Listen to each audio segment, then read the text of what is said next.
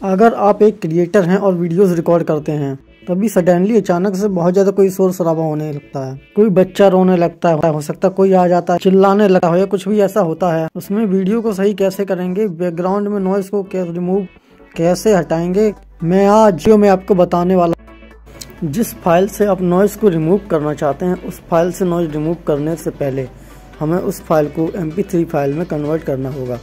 इसके लिए हमें यहाँ पे प्ले स्टोर ओपन करना है, प्ले स्टोर में यहाँ पे टाइप करना है M P three converter M P three converter type करने के बाद आप यहाँ पे सर्च करेंगे तो आपके सामने ये एक फ़ाइल शो होगी, इस पर आपको यहाँ पे क्लिक कर देना है और इसको इंस्टॉल कर लेना इंस्टॉल करने के बाद आपको यहाँ से इसे ओपन कर लेना ओपन करेंगे तो आप देख सकते हैं यहाँ पे इस तरह से इंटरफेस ओपन होगा।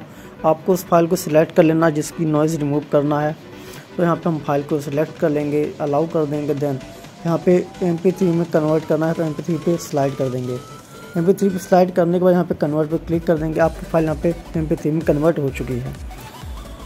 अब हमको जो है क्रोम ब्राउज़र ओपन करना है, यहाँ पे टाइप करना है ऑडियो इन्हेंसर ऑडियो इन्हेंसर आप जैसे टाइप करेंगे तो आपके सामने एडोप पॉडकास्ट की ये वेबसाइट ओपन होगी। इस पर यहाँ पे हमको क्लिक कर देना है। क्लिक करने के बाद यहाँ पे आप देख सकते हैं हल्का सा लोड होगा। लोड होने के बाद यहाँ पे अपलोड का ऑप्शन आ जाता है। अपलोड करते हम जैसे ही क्लिक करते हैं तो यहाँ पे हमें अपनी ऑडियो फ़ाइल सिलेक्ट करनी है, जो कि हमने अभी कन्वर्ट की थी।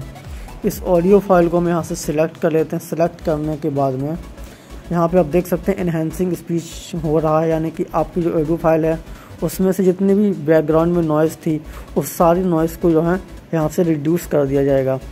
तो इसमें हो सकता है थोड़ा टाइम लग सकता है टेन मिनट तक कभी कभी लगता है, ये टाइम डिपेंड करता है आपकी फ़ाइल कितनी लेंदी है, कितना उसका साइज़ है एंड उसमें कितना ज़्यादा नॉइज़ है।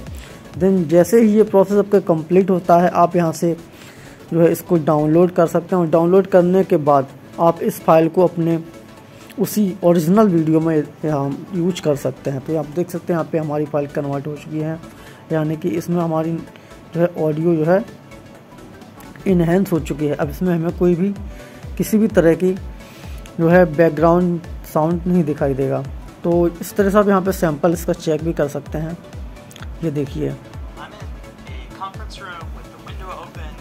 और अब हम इसको यहाँ पे इन्हेंस में चेक करते हैं। अब देखिए।